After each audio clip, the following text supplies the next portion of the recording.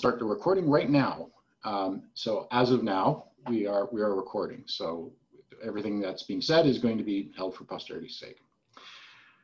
Um, okay, and I think that's that's where we are. And with that, I'll I'll open up with an introduction, and then I'll I'll pass things over over to Olav. So it's it's my great pleasure to introduce uh, Olav Rueppell, who is the newest member of the academic staff of our of our department. And welcome, Olav. It took quite a while for you to get here. I think you've been on the books for a month. Is it yeah. been long? Yeah, that's right. Uh, you've been here a lot longer than that. It took a long time for the paperwork to get through because everything is twice as challenging under COVID as it ever has been before. But I, am delighted that you're here and you're you're you're you're now finding your way around. Uh, even though it's it's a weird time to be here, uh, it's, but it's a weird time to be anywhere. Yeah. Okay. In fact, I've just been um, approved to be on campus. So oh, I, there you go. So now you can actually see where you're going to work. Okay. Good. Um, so Olav uh, was was hired into a position uh, described as honeybee biology and health. So Olav is, specializes in the study of well honeybees, but he's he's worked in many other many other groups throughout his career of, of social insects.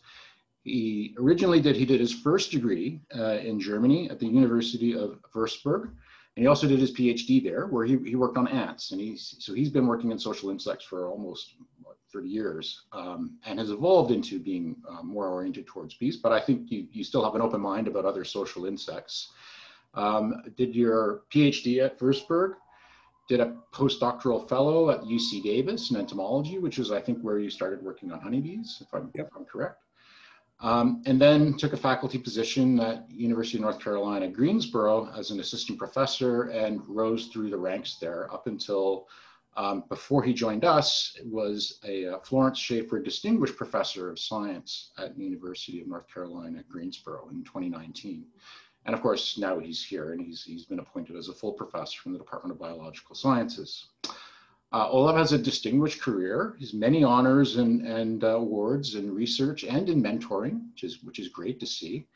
So he, he brings a lot to our department. He's published close to 100 peer-reviewed publications in, in, a, in a variety of, of, of, venues in social insects, uh, dealing with um, health, genomics, uh, sociobiology, and, and uh, behavioral ecology of, of social insects.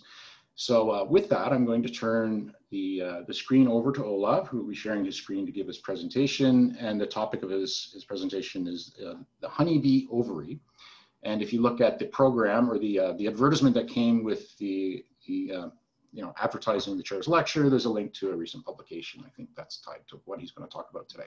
So with that, I will hand it over to, to Olav and please proceed, share your screen. Okay, thank you. Can you all see the screen? Yeah, okay. Well, thank you. Thank you all for being here and thank you for giving me the opportunity to talk about some of my research. And I did um, deliberately choose sort of this uh, very um, general title um, because the honeybee ovary that you see here on your screen um, has a lot to do with um, various aspects of my research. Um, it also plays a central role in the social evolution, the biology, and even the health of the honeybees. Um, and so I can use that as a theme to cross-link a lot of things that I want to talk to you about today. Some of which are sort of obvious functions of the ovary and some might be some more obscure. Um, but I'll come to that later. So that just um, to this drawing, the honeybee ovary plays such an important role in my research that one of my grad students, former grad students, uh, Phoebe, um, here in the picture, um, has sort of given me this drawing here as a goodbye gift when I uh, departed for uh, Canada. And what you see is a honeybee queen ovary um, that is massively enlarged over sort of the regular ovaries of insects that you would see in, not in solitary or non-social um, insects. Each strand of these um, egg sacs here, the so-called ovarioles, um, is basically a conveyor belt of egg manufacturing uh, tissue, and there are about 140 of those in each of the ovaries of the queen, um, and only um, vestigial two or three or four in worker ovaries. So the principal division of labor, the reproductive specialization of some individuals, but not others in the social insects is manifest in sort of the reproductive, female reproductive organs. Um, so what I'm going to talk to you about today is um, the ovary as an egg laying um, organ, of course, but also it ties to um, social evolution, to the fundamental reproductive division of labor and um, some of the mechanisms that we think have um, occurred during social evolution. I'll talk about that a little bit. Um, uh, it ties to the division of labor even within um, societies and workers. And I'll talk about division of labor among honeybees. Um, and as my second chapter, if you will, in this talk, it ties to uh, longevity and um, aging. Honeybees and other social insects are very special in that there is no trade-off between reproduction and longevity. Instead, the reproductive individuals live much longer than the non-reproductive individuals. And we exploit that in our research. And I'm going to talk about a specific study. And that is actually the study where I gave you basically a preprint, um, something that is in um, review uh, at the moment to read if you want to read about the details more specifically. Then I'll um, sort of continue the thread of life history with um, a study on egg size plasticity. And finally, um, I'll finish with some uh, health, honeybee health related study uh, because the honeybee ovary, of course, is also the central organ that we should be concerned about when we think about vertical uh, transmission of viruses and other diseases. So um, social evolution is, of course, a big topic, and already um, Darwin was puzzled by the evolution of functionally sterile honeybee workers that never passed on their genes directly. Um, a puzzle that he did not solve, but um, Bill Hamilton in, in, the 1960s formalized the um, theory of kin selection and inclusive fitness concepts um, that then basically um, explain this by indirect um, selection or genes being passed down by relatives. Um, and that is a great ultimate explanation, but it doesn't really uh, address the question of how um, social evolution has proceeded. So how a solitary bee, here a hypothetical, hypothetical example on the left, basically evolved into these so sophisticated societies um, with division of labor among different castes, but also division of labor within castes and cooperation as exemplified by this picture of the honeybee on the right here. Can you actually see my pointer or, yes, okay, good. Um, all right, so this is where the reproductive ground plan hypothesis of social evolution comes in. And this hypothesis posits that the phenotypic plasticity that the solitary ancestor might have had uh, in circling between non-reproductive and reproductive phases in the life history, um, combined with physiological adjustments for egg laying, for mating, but also for provisioning young, um, so pollen foraging or, protein foraging uh, versus um, non-reproductive survival and endurance mechanisms, basically where the ovary here that you see is atrophied largely and the individual just develops or, uh, or survives until the next reproductive bout. This phenotypic plasticity um, it posits was basically genetically assimilated um, into different castes, into phenotypic plasticity between different castes, most obviously between the reproductive queen castes that you see here on the bottom, again with an ovary dissected out, um, and the non-reproductive worker caste on top here, which still, as I said, have some small ovaries, um, but are functionally non-reproductive, at least when the queen is present. The reproductive ground plan hypothesis goes a step further and also um, explains within worker division of labor based on um, endocrine regulation and um, ovary sizes that are basically a symptom of these endocrine differences within workers in that more reproductively active workers would be doing sort of some of the nursing and brood care, alloparental brood care work, um, whereas the non-reproductive or the or workers with smaller ovaries would um, specialize on foraging. And to take this basically to the last step, honeybees forage for different resources. Uh, honeybees forage for pollen, which is mainly the brood food proteinaceous source. Um, and they forage for nectar, which is converted into honey and then stored for the survival during dearth periods, including winter.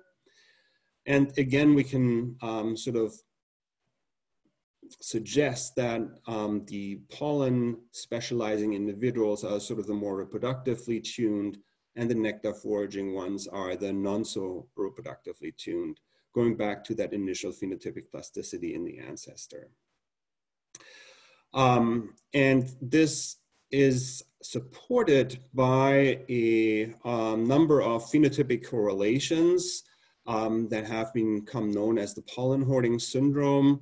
Um, and I just sort of summarize a lot of these correlations here in this slide um, that range really from foraging specialization and, and gustatory response scores to um, foraging onset and lifespan, life duration, basically, um, to reproductive and ovary size variables. So a large um, syndrome, basically, um, that fits sort of the bill of these uh, um, connections that have been suggested by the reproductive ground plan hypothesis.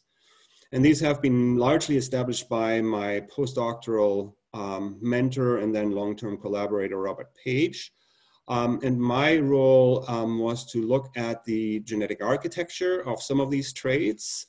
Um, and these are the traits that we specifically looked at. Um, and we identified several quantitative trait loci or QTL for these. Um, and then subsequently, basically based on those results and the phenotypic correlations, we set out to test the reproductive ground plan hypothesis um, genetically by, by testing whether there are direct genetic linkages at the QTL level between the behavioral effects of these QTLs and then um, behavioral effects extending to sort of the ovary um, size as a measure of the um, endocrine underlying pathways. And we used in one study at least the Africanized honeybee because the honeybee that is sort of non-domesticated and is very um, famous for its um, defensive behavior that you see here in the slide also um, mirrors a lot of the pollen hoarding syndrome as a naturally evolved sort of life history syndrome in these Africanized bees compared to European bees, which are sort of more the domesticated version that the beekeepers are using all over the world. And so we started crossing these and the first um, sort of result that we got from this was a, a big surprise in the offspring. So you see the parental phenotypes here, the European honeybee on the left, the Africanized honeybee on the right. Africanized bees have a little bit larger ovaries, um, and a whole slew of traits that goes along with this. And the offspring sh showed some phenotypes that we had never seen before in workers. Um, these are almost queen-like ovaries, basically, so strongly transgressive phenotypes, which was interesting in itself because we think we discovered sort of some or revealed some um, hidden genetic variation uh, that was suppressed basically during evolution, but that's another story. Um, regardless of um, the transgressive phenotypes, what was most important for us was the genetic effect of these behavioral QTLs that we could see in these crosses, these back crosses. Um, and I show you just one example here, which affects basically um, the ovary size by six ovarioles or six numbers of these um, tubes, which as you can see from the parental um, variation here is quite dramatic in normal phenotypic populations. So that was kind of a um, direct proof or support of the reproductive ground, ground plan hypothesis of social evolution at the genetic level. Turns out that a lot of these um, QTLs are containing um, genes that are involved in insulin-like signaling, in the insulin-like signaling pathway that I'm showing you here. Um, basically, everything that's color-coded falls into one of those behavioral QTLs. Um, and insulin-like signaling is, of course, one of the major endocrine uh, mechanisms and affects a lot of different things, including growth, lifespan, behavior, reproduction, and also in honeybees caste differentiation, but it's a very general um, and very pleiotropic pathway. So it does make sense that these genes might be involved in the pollen hoarding syndrome and the um, rewiring of the phenotypic plasticity um, during social evolution. Now, I wanted to take that to the interspecific um, dimension as well. And so what you see here are um, not queens and workers, but actually workers of different honeybee species. So on the left, these small ones are aptly named dwarf honeybees, Apis florea, and they are sharing a leaf uh, here with uh, one worker of the giant honeybee, Apis dorsata. And these honeybees occur only in Southeast Asia, but you can see that um, there are dramatic differences in workers, in worker size, and then also in worker ovariole number or ovary size, um, while the queens are relatively similar. So the caste differences in these different species are very strongly diverged. And so we had the idea that we could look at genes for positive selection in the genomes of these different species and see whether we can support our insulin-like signaling hypothesis. And to cut a long project very short, we basically sequenced Apis florea and Apis dorsata and compared it then to the existing Apis mellifera, which is the Western honeybee genome. We used a bumblebee, Bombus impatiens, as an outgroup. And these are just some summary statistics here, but um, most importantly, we built um, some one-to-one-to-one-to-one-to-one ortho groups um, to look for um, molecular or molecular evolution or signs of um, positive selection in um, the genes that we could basically assemble into ortho groups. There's also a number of lineage-specific genes here at the end, and I don't want to talk necessarily about those, but um, the signs of positive selection or the, the genes with positive selection, then we, we were trying to link back to the QTLs. Um, and the results are summarized in this table here. And I have to say, it was a little bit disappointing because our candidate genes that we had um, sort of hoped for did not show up. So there are some genes that are under positive selection between the different species that we had um, uh, you know, located in these confidence intervals for these quantitative trait loci, um, but not really strong support for what we were looking for. Overall, uh, if you look at, um, there are about 100 genes or so positively selected in the different branches. Um, you know, we looked at gene ontology, and is, these are just word clouds of these gene ontology terms that popped out. Um, and there are some things that make sense um, with body size and, and the lifestyle, um, but again, not a very strong support for our um, favorite hypothesis that insulin-like signaling was involved. And so there's more certainly to be learned um, about you know castes and divergence and also the division of labor among workers. And that's sort of our next chapter, basically that um, sort of looks in a little bit more proximate ways at the division of labor between these three groups that I've already mentioned, the nurse bees, the nectar foragers, and the pollen foragers. And I should mention that um, worker honeybees typically go through an age division of age-based division of labor or progression from inside hive tasks, so from nursing to foraging. And then as foragers, they can um, specialize or not specialize, but most bees um, specialize into nectar foragers or pollen foragers. So there's also an age uh, difference between the nurse bees and the foragers, but not necessarily among the foragers. So um, one favorite hypothesis for what causes the division of labor among workers is the response threshold um, hypothesis, um, based on the idea that individuals have different responsiveness to different task relevant stimuli. And uh, we can measure responsiveness to some of the stimuli by um, this assay that you see here on the right, which is called the proboscis extension reflex assay or PER assay. And it consists basically of um, tying down a bee into a little straw, um, and then you can touch her antenna with sugar water. This is the sugar droplet that you see here on the right. Um, and the bee cannot do anything uh, if she perceives the sucrose, then she sticks out her tongue or her proboscis, as you can see on the right-hand side. So this is basically a reflex. Um, and it's very easy to measure or quantify then sucrose responses um, at different concentrations, for example, to measure the response thresholds. Um, when we do that, um, we can see basically in two different species, um, Apis mellifera is abbreviated here as AML, and Apis cerana, another species that is domesticated in the Eastern Hemisphere more, uh, is um, abbreviated ACC. You can see basically over different sucrose concentrations how this is a dose, de dose dependent response.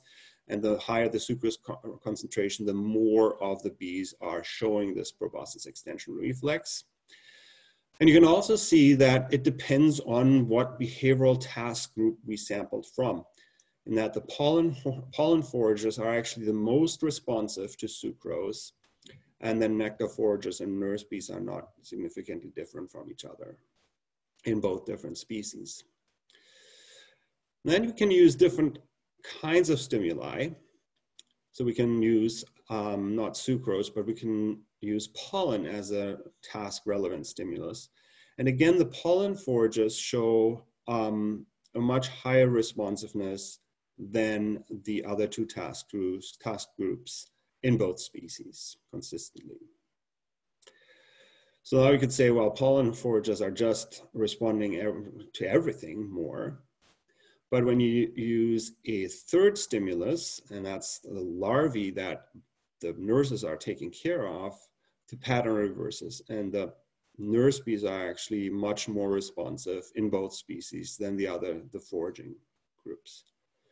So we see that there's some degree at least of task relevant stimulus responsiveness, supporting this uh, response threshold model of division of labor in honeybees. Now, mechanistically, um, we wanted to see whether we could link any neuropeptides to this. Uh, neuropeptides are relatively versatile and about 100 different uh, neuropeptides have been identified from honeybee, honeybees, so it, it, was a good sort of class look at. And um, these are sort of an overview, uh, this is an overview of the results of differentially expressed neuropeptides in these six different groups of bees. Three different task groups times two different species makes six, six different groups. I don't want to go through all the details, but highlighted here in red uh, are one group of neuropeptides, um, the tachykinin uh, related peptides um, that fit sort of the behavioral patterns of these workers best uh, in their expression patterns. And so those were candidates for follow-up studies um, to see whether they would actually be causally involved. And tachykinin related peptides are very general, uh, widespread throughout the bilaterians. Um, neuropeptide Drosophila, um, they are located sort of throughout the brain, but have specifically been linked to olfactor olfactorily um, sensitive neurons. Um, so it did make sense for them from a functional perspective also to be involved in sort of the tuning of response thresholds. And so uh, when we inject TRP or tachykinin related peptide to um, into these different task groups here, pollen foragers, nectar foragers, and nurse bees, we see that we specifically decrease um, the task relevant responsiveness. So nectar foragers and pollen foragers decrease their sucrose responsiveness, whereas nurse bees are not affected. Um, pollen foragers decrease their responsiveness to pollen, whereas the other two groups are not affected and nurse bees decrease their responsiveness to uh, larvae, um, whereas the other two are not affected. And if you don't believe me with that um, evidence, we also did RNAi reduction or RNAi mediated inhibition of this TRP signaling pathway by injecting bees with either the tachykinin peptide or the, the receptor basically. And in both cases, you can see that sucrose responsiveness in pollen foragers goes up when we inhibit tachykinin-related signaling. In nectar foragers, this goes up in both cases, but nurse bees are not affected. And the stimuli to pollen or the responsiveness to pollen goes up only in pollen foragers. The other two are not affected. And the responsiveness to larvae goes up in the nurse bees while the others are not affected. And so we think that is pretty good evidence that these um, tachykinin-related peptides play a very important role in the division of labor. And specifically, they might be responsible for tuning the specificity of response thresholds. And with that, basically they tune how specialized the workers in a colony are. Now that might be an even more broadly applicable principle because other animals, of course, also have to tune their behavior towards certain situations or certain internal states. And so tachykinin might be really an interesting um, mechanism to look at uh, behavioral tuning in general. But to summarize this, basically, we see a hierarchical um, organization of the behavioral specialization among honeybee workers. I showed you sort of the influence of the ovary, maybe mediated at, the, at least at the intraspecific level through insulin-like signaling pathways and related hormonal pathways such as the ecdysteroids or vitellogenin. But then the brain comes into play and um, and related peptides might play an important role in how much of specialization or how little of specialization there actually is in some circumstances or in different species. So I want to um, then go on to the next, check the time here, um, to the next um, topic real quick. Um, and that is sort of the non-existent trade-off between reproduction and longevity. Here in a, in a review, Jim Carey basically um, highlighted this, that all the queens, mainly the namely the reproductive individuals of social insects outlive their workers by orders of magnitude typically. And that's very unusual because typically there's a cost of uh, reproduction in terms of longevity throughout the animal kingdom. And so this has been addressed quite um, in numerous times in um, studies that compare the honeybee queen here with her workers that surround her. Um, and one of the central questions is really there um, whether it is an intrinsic or sort of a social facilitation mechanism, whether the queens are intrinsically more protected against uh, factors that shorten our lives or whether they are just treated well um, in their protected colony, and that's why they live much longer. But comparing workers and queens is sort of like comparing apples and oranges. And so we turned to comparing uh, workers with workers, but we made some workers reproductively active. And you can do that by taking away the queen, and then under that those circumstances, um, some workers activate their ovaries and become reproductively active. And we had shown previously that they also live much longer than the non-reproductive workers. And specifically because stress resistance mechanisms are intimately linked to aging in a number of model organisms, we wanted to ask the questions, question whether reproductively active workers were um, more resistant to stress um, and surviving stress than non-reproductive workers. So our experiment compared these functionally sterile workers with small ovaries with reproductive workers that had their ovaries activated and were laying eggs.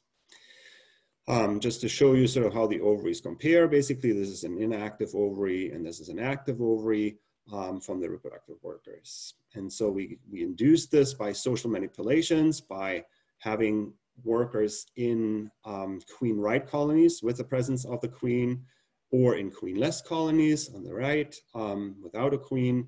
And so we introduced individually marked um, bees into both of those social circumstances uh, so that we know exactly their age.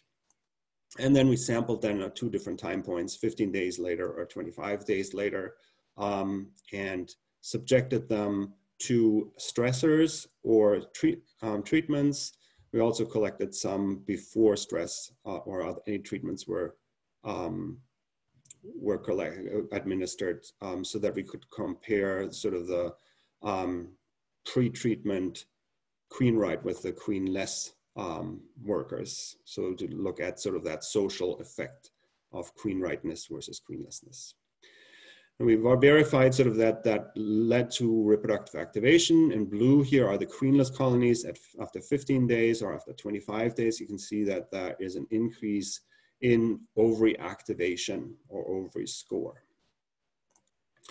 And then we administered um, two different stresses. One was abiotic, paraquat is a herbicide, oxidative stressor. Um, and as a biotic stressor, we administered um, Israeli acute paralysis virus, which is an, abiotic stressor, obviously, um, and we had in our lab. And um, then we measured survival of these stressors, and you can see basically here that um, the thick black line, which are the um, paraquat exposed 15 day old control workers die much faster than all the other groups, which are either PBS injected instead of paraquat injected or reproductively active workers. And so um, the survival of paraquat is much higher when workers are reproductively activated. Um, and the same although not as clear cut, holds true for the survival of the Israeli acute paralysis virus. Um, again, the, um, the non-reproductive virus exposed uh, workers die fastest. So that confirmed basically our prediction that the reproductive activation would protect against um, different kinds of stressors.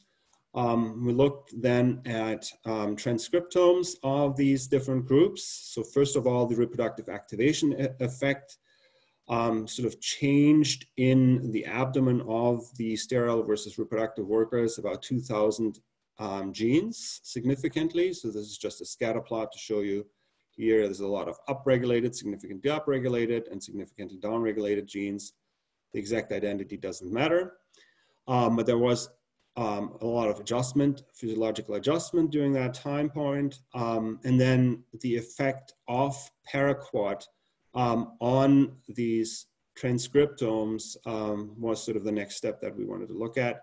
If you compare this, these two graphs in the sterile workers and in the reproductively active workers, you see that there is basically no significantly differentially expressed um, gene here in the reproductively activated workers, whereas paraquat did cause about 1,200 genes to be up or down regulated significantly uh, in the functionally sterile workers.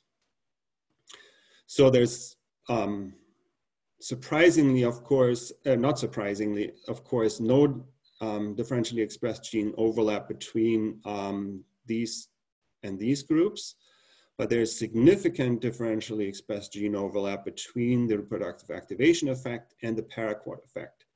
So genes that are upregulated um, by reproductive activation are also subsequently upregulated by paraquat in response to paraquat. So we think that, um, and there are some uh, important aging and stress resistant genes in, in these differentially expressed genes. So we think that reproductive activation is actually buffering against stress by sort of preemptively activating longevity assurance mechanisms, including stress resistance mechanisms. Um, and that was sort of exactly what we had predicted, and so it was a very satisfying um, result. Ultimately, of course, that is just a proximate mechanism, and ultimately, um, it's certainly true that sociality and social facilitation, uh, feeding of the reproductive individuals, does lead to resource transfers towards those individuals um, that then can affords them sort of the possibility of avoiding these life history trade-offs. Okay, so speaking of life history, um, egg size or offspring size is of course another of these um, key variables for life history. And um, I was very skeptic at looking at um, any variation in, in these eggs because they are laid by the queen. Forgot to mention, a queen can lay up to 2,000 eggs per day. Uh, you know, one after one into these cells that you see here. Um, and then they um, stay there for three days, hatch, and over the next five days, basically um, grow by orders of magnitude to fill the complete cell and pupate in the cell. And so there's a lot of strong um, parental care behavior by the workers that I thought would um, negate any potential adapt- adaptive egg size plasticity in honeybee workers. But we did look, and um, my view was sort of quickly changed when we looked at different strains of honeybees and showed that the different strains have actually different egg sizes. So these are just sources here on, on the x-axis, but you can see that there's some differences in the size that these queens are producing. And then we looked, of course, at the other side of the coin um, at the env environmental factors. And uh, the first thing that we did was to basically deprive colonies of their protein source. The pollen that you see here um, is basically shed by workers that want to bring it back into the hive but can't bring it back through this mesh wire. The mesh wire strips basically these pollen packages off them. So inside the hive, there's basically no pollen. And um, the other, the alternative was sort of to overfeed colonies. And as you can see here over this time period, the overfed colonies did not change um, their egg sizes, but the starved, the pollen restricted colonies increased their egg sizes. So the egg size was increased through pollen deprivation or protein deprivation, something that was, was a little bit counterintuitive. And, it, and then we went on to colony size and compared different colony sizes. And again, we found significant differences. And again, I don't want to pull um, the audience here online, but um, you know, again, we found something that I would have predicted in exactly the opposite in that the small colonies, queens in small colonies produce large eggs and queens in big colonies produce small eggs. And this is largely independent of egg number. We also measured how many eggs they, they laid in the, during these experimental assays. We did then uh, follow-up experiments to just show that this is actually real. Um, here are individual queens that were transferred from large colonies where they produce small eggs into small colonies where they produce large eggs. Um, and this summer we actually did um, um, a little bit more complicated uh, design where we had medium colonies. Some of those queens were moved into small colonies, some were moved into large colonies with the predicted responses being exactly observed. And then we inversed basically the social environment and you can see sort of the response followed shortly thereafter. Um, so we're fairly confident that this is a very robust um, response by the queens. And it does have some fitness consequences. So large eggs here in the dash line um, do give, give rise to uh, higher survival rates, although at later developmental stages, surprisingly, not at the very early stages, than small eggs. And so that, that's an, another area that we're really interested in uh, and trying to follow up on um, with not only the quantity of what gets put into the egg, but also the quality um, of how these large and small eggs differ. At the moment, we can just say honeybee queens adjust sort of the egg size with consequences for off, offspring survival. Um, and that's all we can say at the moment. And um, sort of to bring this to a close, um, the last thing that I want to talk about is sort of the queen's role in um, virus transmission. Um, of course, honeybees live in these very tight um, societies with highly related individuals and horizontal virus transmission is a big issue. Um, it is also vectored by the Varroa mite, which I have completely excluded today from my talk because I didn't want to be redundant with what I had presented last year. Um, but basically, uh, we also focus on um, the queen as the central hub for virus dissemination. So if you're a virus, it's great to be in a honeybee colony, but if you're if you can infect the queen, that's really sort of the jackpot uh, because the queen does produce all the eggs of the next generation. And um, so basically this might lead to more benign infections. The queens are rarely um, symptomatic, but of course then all of the offspring is infected. This infection route is not perfect, as you can see in this result graph. Um, here we have plotted basically the um, number of viruses of one particularly widespread virus, deformed wing virus, um, in the queen ovary, and then uh, relate that to the deformed wing virus quantities in the eggs that she lays. And you can see that most of these data points are below the diagonal here, meaning that the queen ovary has more viruses that end up than end up in her eggs. So the transmission is certainly not perfect. Um, and that has something to do with the particular transmission pathway of deformed wing virus, which we investigated as well. So viruses could come, in theory at least, through the sperm um, into the offspring.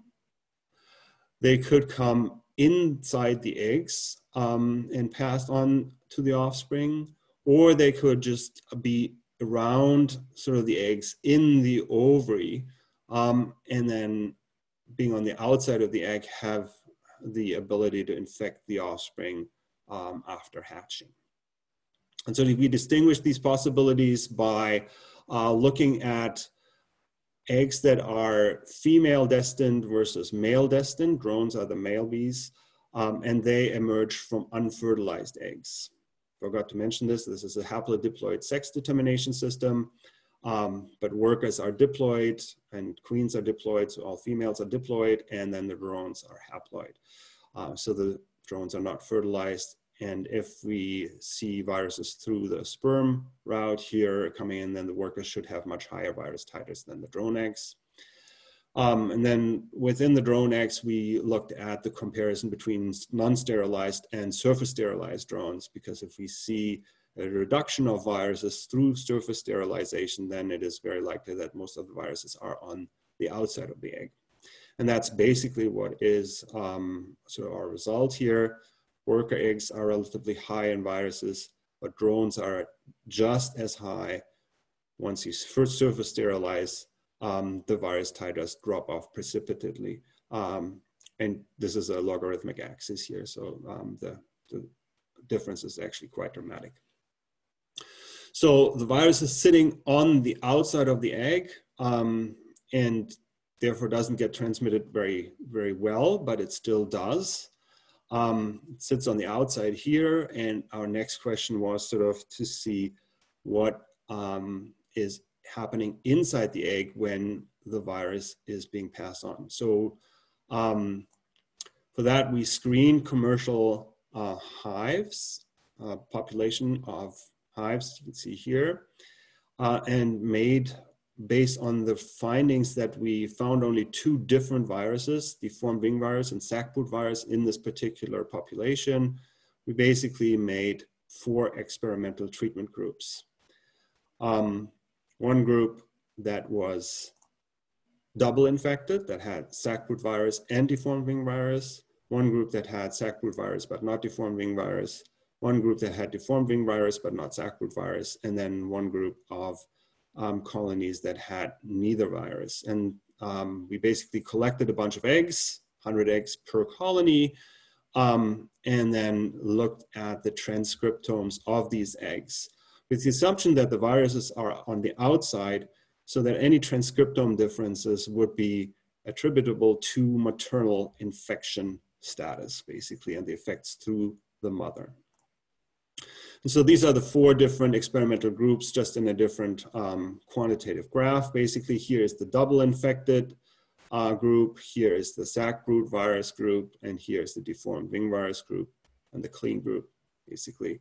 Um, and so we did all um, possible pairwise comparisons of the clean group with the other three experimental groups, if you will.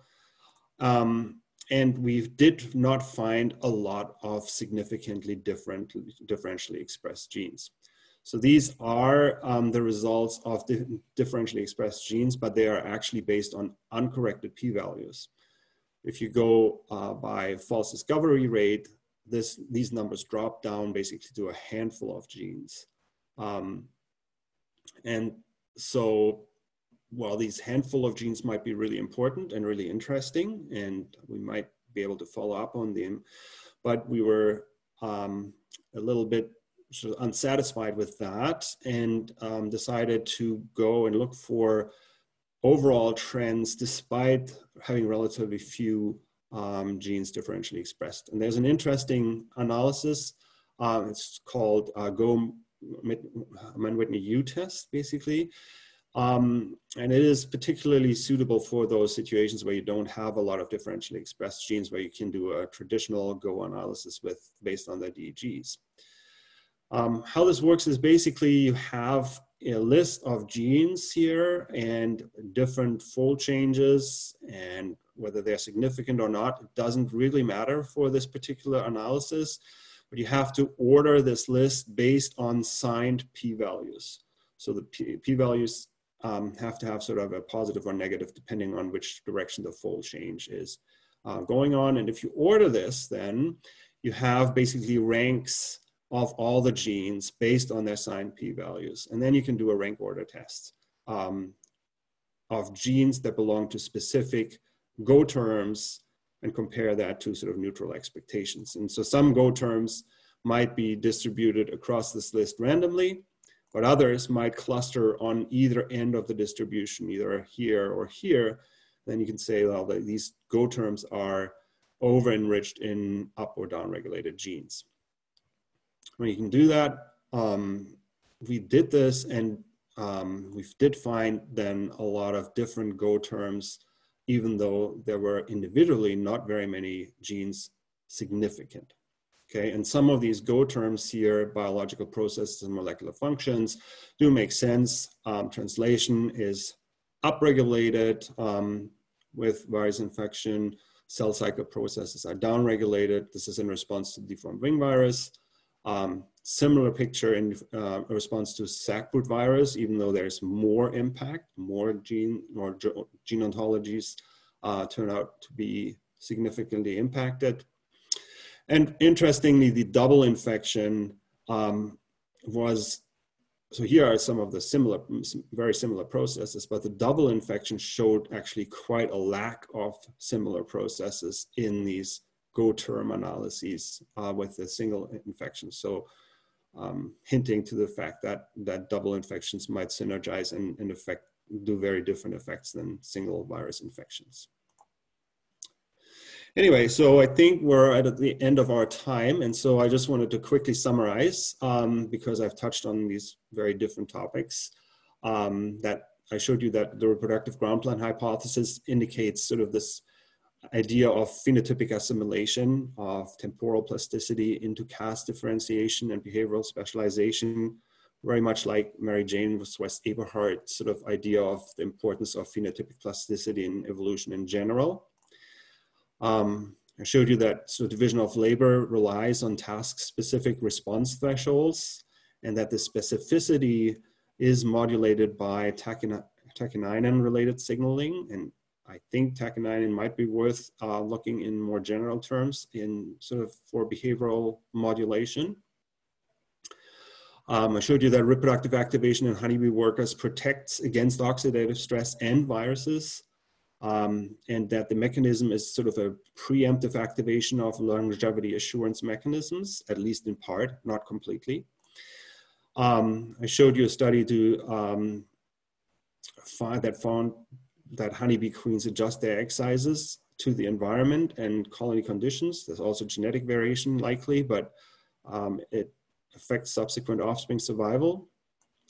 And um, lastly, I was mentioning sort of these studies that um, address the question how queens deal with viruses because they are central hubs, whether they can, you know, prime their offspring maybe for um, virus resistance um, because the egg transcriptomes are uh, impacted.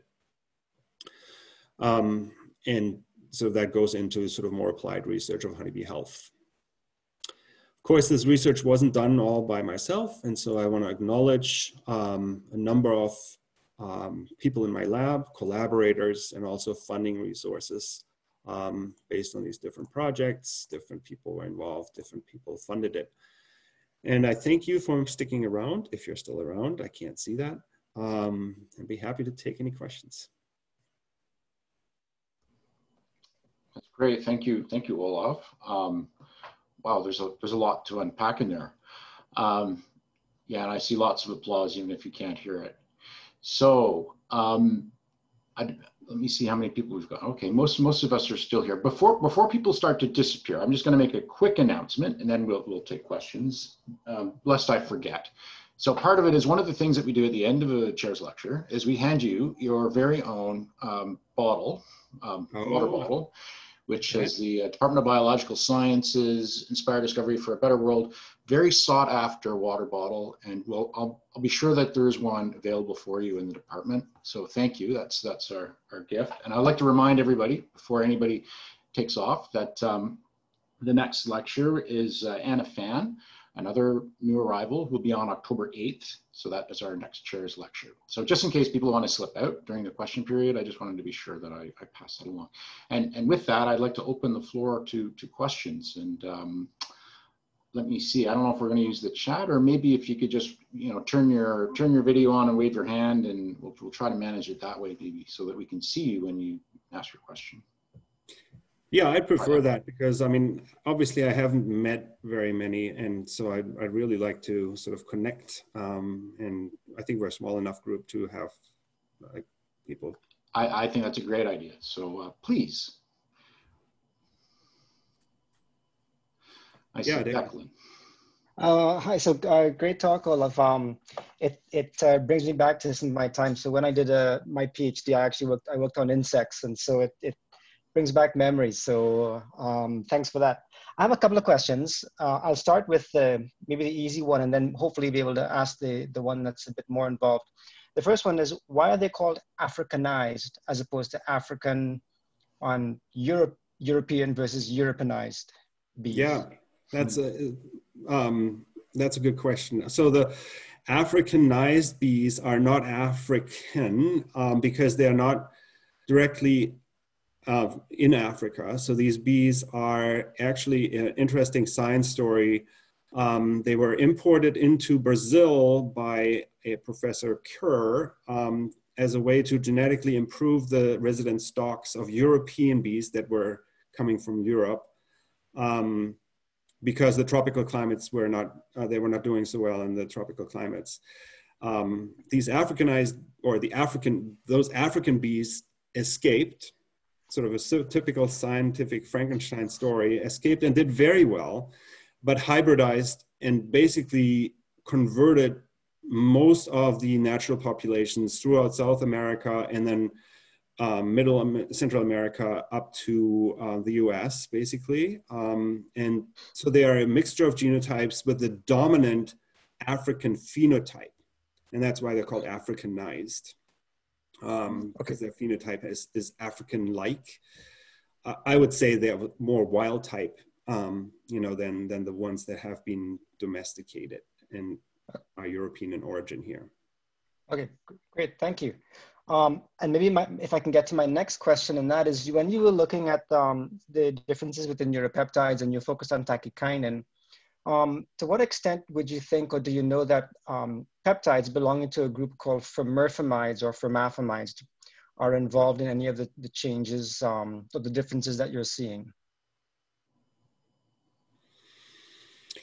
Um, it's not an involved question because I don't know enough about those um, peptides. I mean, basically, um, what we did is just an MS comparison of all the neuropeptides and found that the, these two tachykinins were correlating with what we sort of saw behaviorally, and then we just focused on them. I, I lack mechanistic understanding, I have to freely admit, basically, of the details and what could make other good candidates. And that's certainly something where I wouldn't rely on collaborators. Hmm. Okay, all right, thank you. You have any thoughts on that? I mean, or well, yes. So, yes, I mean, so when I um when I was doing my, my PhD in the lab that, that, that I, I did it in, so uh, Ian Orchard at the University of Toronto, and he collaborated with someone called uh, Stephen Tobe. Um, and I'm not sure if you're familiar with any of those names, but they looked um, they looked at uh, the activity of a wide range of peptides on a number of different um, insect uh, systems. And one of the peptides or family of peptides that they found was involved in a huge range of things from muscle contraction, um, apart from things like proctolin, etc., um, are FMRFamides. And they are peptides, so they're, they're smaller peptides um, but the, the family can, there can be hundreds or thousands of members of the family and they, they are involved in, in, in a range of activities. And so I wouldn't actually be surprised if um, are, or that members of that family are involved in um, some of the changes that you're seeing, um, especially with regard to development um, and possibly even the aging process. And uh, so mm-hmm. that's kind of why I, I, brought it up. But if you want, we can chat offline uh, about it.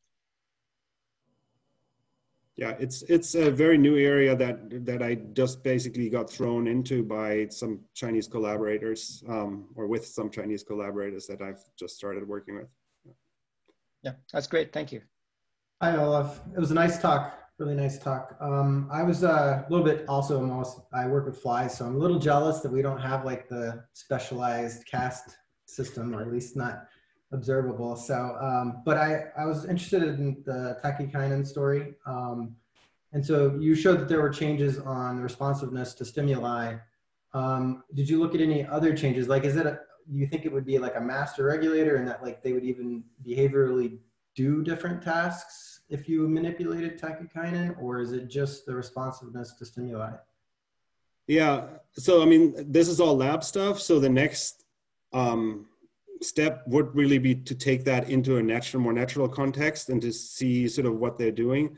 My interpretation of the data that we have so far is really um, that it reduces the specificity of some stimuli that are typically, you know, highly eliciting a response uh, based on the task that the bees are doing. And, and so I'm at the moment, I'm seeing it not as an sort of instruction, do this or do that, but rather sort of, am I really focused or am I a more generalist, basically taking all the stimulus? I see. So, uh, hi, Olav. Nice hi. talk. I'm sorry, I have a follow up question to that. yeah. So it looks like um, your manipulation of the tachykinin um, receptor peptide. So it, I like with the application of the tachykinin, it reduces their specificity, and with the RNAi, it increases their specificity for the particular type of work that they are doing. So yeah. then, like, what are your thoughts on what is actually controlling their underlying, like, um, kind of uh, work preference? So is it like different neurons maybe that are either expressing or not expressing certain levels of the tachykinin receptor? Like, so, you know, like if we can simplify it to the terms of like oh like a pollen preference group of neurons or you know a larvae preference group of neurons like not that it's that simple but and tachykinins are if i'm correctly informed mostly in the mushroom bodies so i mean it it would make sense that they are involved in higher order processes but what we see phenotypically so far is just sort of the modulation of responsiveness. And I, I mean, I don't have any neuron uh, level resolution or anything um, in honeybees, but um, I'd rather see it as sort of tuning of the um, input. I think that's where the processing of the input um, because we have other data from these PR studies that motivation or, or you know, um, physiological state affects the responsiveness. So if you're if you're making bees hungry, basically, you know, they're responding much much faster to sucrose, for example. And so I'm I'm thinking that this is not a physiological modulator that is sort of very similar to to hunger or um, age, but it is maybe a very specific modulator of the input that comes in how input might be prioritized in in the olfactory neurons. But that's just. So are you thinking that there is some underlying differences in the the bees that then lead to this sort of preference? So yeah, I mean, approximately um, we know that the nurse bees are younger, right, and have higher vitellogenin titers, um, so are nutritionally um, fatter, if you will. Um, and they convert some of this vitellogenin. It's, it's, it's strange because vitellogenin is an egg yolk protein that normally would be put into the eggs, but the workers don't produce any eggs. But basically, they are using it to produce brood food to feed to the to the to the larvae. Um, and so that's sort of their their physiological state is is very different from the from the foragers that are older and basically um, aged and physiologically um, and nutritionally kind of depauperate compared to the nurse bees. But at the neuronal level, I have I have no idea. So, um, you know, I mean, you can be envious about the plasticity of honeybees, but there are a lot of other disadvantages with honeybees that you that you might not be so envious of. Thanks. Yeah. Although their brain is bigger than Drosophila brains, I have to say. So, if you want to take some bees into your labs, I'll be happy. Yeah, they're probably smarter too.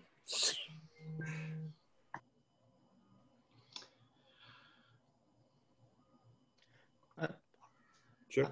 I have more questions if no one else has. Okay, yeah. Uh, okay, great. So I was wondering, you know, you, you, you, talked about the size of the eggs and the size of the colony.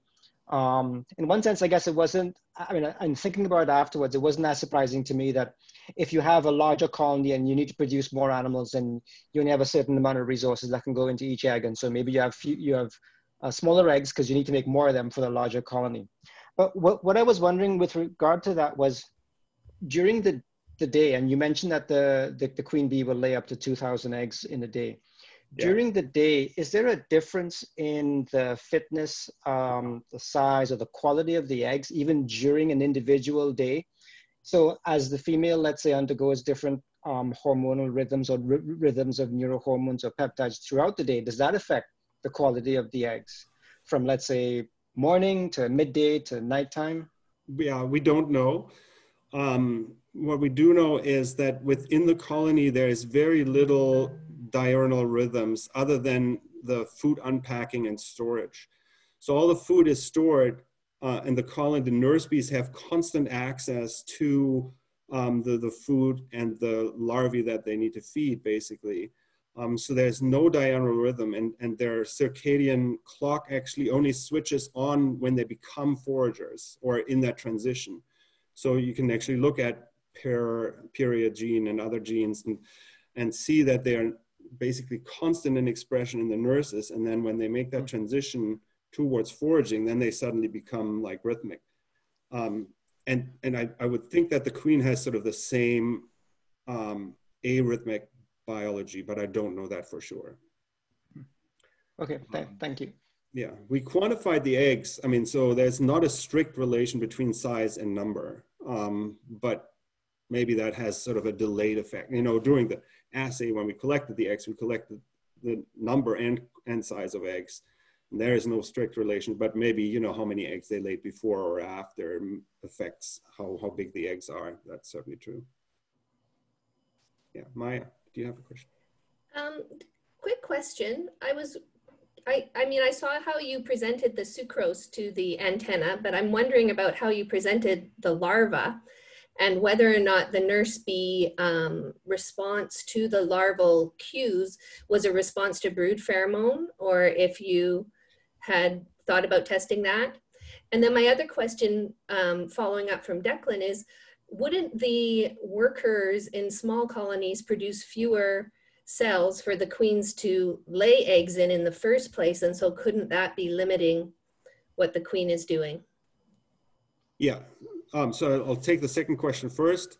Um, and yeah, there's certainly um, differences in the opportunity to lay eggs, but also in the queen makes decisions not only on the based on the number of available cells, but also based on the worker population that is available to nurse her offspring. And, and so there's certainly, you know, there might be the, the, the physiological limitation of the queen um, that then forces the trade-off between size and number of eggs, right? That she is, despite being fed, she's physiologically, and despite having these great ovaries, she's not able to lay um, more biomass than a certain amount. And so if she's in large colonies, she reaches that limit and has to make her eggs smaller.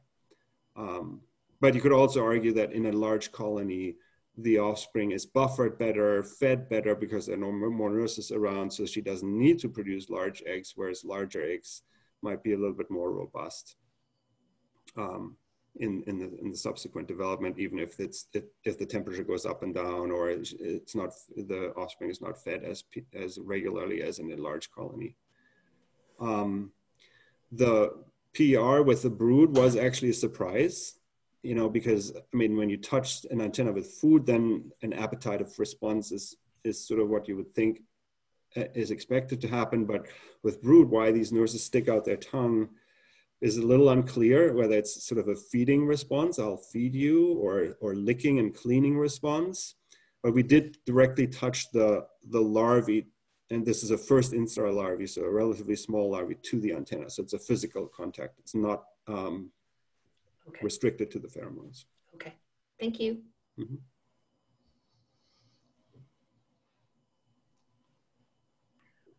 Hey, Olav, uh, I'm Ted. Uh, great talk. Nice to meet you.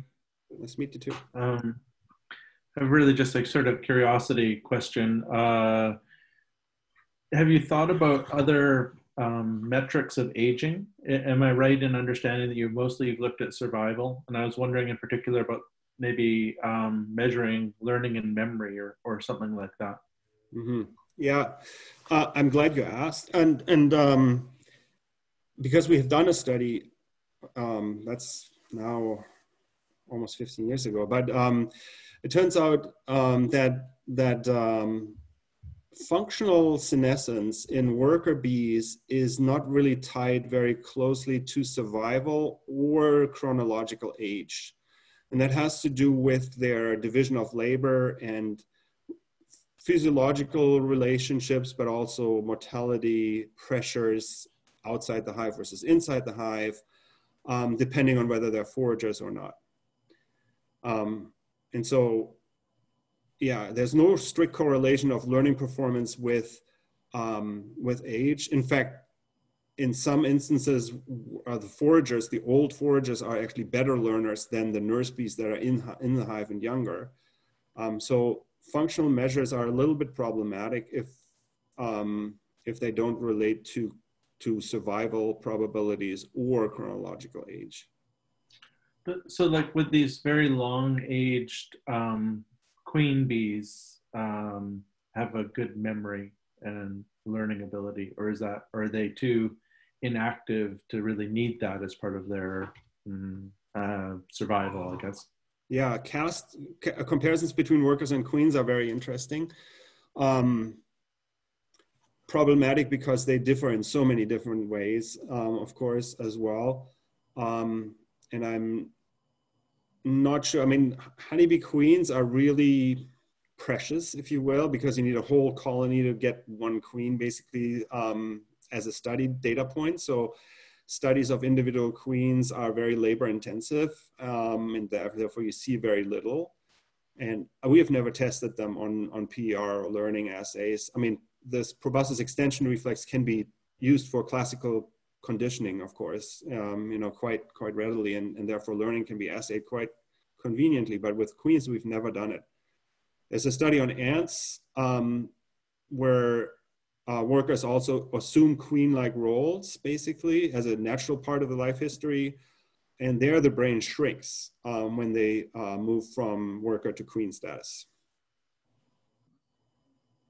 Thanks a lot. That's cool. Yeah.